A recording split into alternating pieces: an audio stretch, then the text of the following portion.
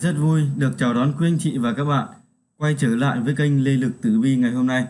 À, lời đầu tiên thay mặt những người làm chương trình xin được gửi tới quý anh chị và các bạn những lời chúc sức khỏe.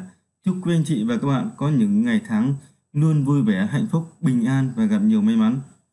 Quý vị thân mến, tiếp theo trong cái chuyên mục của ngày hôm nay thì chúng tôi sẽ chia sẻ với quý anh chị và các bạn là ba con giáp cần đề phòng tiểu nhân hãm hại, đi đường thận trọng, kéo gặp họa xe cộ trong 15 ngày tới đây thì tử vi chỉ rõ là trong cái thời gian 15 ngày tới có những con giáp này gặp xui cần hết sức thận trọng kéo rước họa vào thân.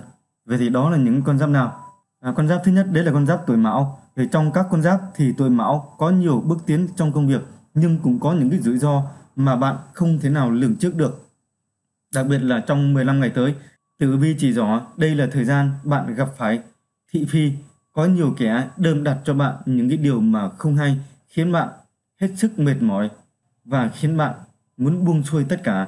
Lời khuyên cho tuổi mão trong thời gian này là hãy cố gắng làm thật tốt công việc của mình, không nên cả tin, vẫn phải đề phòng tiền bạc nữa.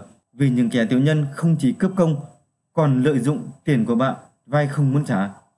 Ừ, thứ hai đấy là tuổi dậu. Theo các cái chuyên gia tử vi cho biết thì trong cái khoảng thời gian 15 ngày tới là cái ngày mà tuổi dậu không được may mắn khi công việc liên tiếp thất bại. Sắp tới có thể bạn gặp phải những cái cơ hội ảo nên đầu tư vốn làm ăn và chẳng thu lại được cái lợi lộc gì. Đường tài lộc suy giảm khiến bạn vô cùng mệt mỏi, sức khỏe sa sút. Tuổi dậu hãy cố gắng cân đối lại bản thân ngay, nếu không bạn sẽ mất hết cái cơ hội để chứng minh cái khả năng của mình trong công việc, kẻ khác cũng hất mất tay trên. Bên cạnh đó tuổi dậu cũng hãy tạo cho mình một cái tinh thần lạc quan, mọi khó khăn đều có thể giải quyết khi bạn bình tĩnh và nhìn nhận mọi việc thấu đáo. Ừ, và con giáp thứ ba đấy là con giáp tuổi thân. Thì tử vi cho biết là những người tuổi thân trong 15 ngày tới đặc biệt hạn chế đi lại bằng xe cộ đường dài, nhất là đi xe máy. Trong cái thời gian tới có thể xảy ra cái điều không may mắn, nhất là có thể đâm phải người khác gây họa cho mình. Và trong trường hợp nếu bạn muốn đi đâu đó xa thì tốt hơn hết nên chọn phương tiện an toàn như là ô tô, máy bay. Bên cạnh đó, người tuổi thân cần phải cẩn thận trong lời ăn tiếng nói nói ra lời nào cũng phải suy nghĩ trước sau, nếu không sẽ dính họa thị phi đầy mình, ảnh hưởng công việc hiện tại.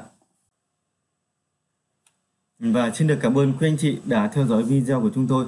Nếu có bất kỳ băn khoăn hay là thắc mắc gì thì các bạn hãy ghi rõ rồi để ý lại lời bình luận bên dưới của video và ban biên tập sẽ phản hồi lại các bạn trong cái thời gian sớm nhất.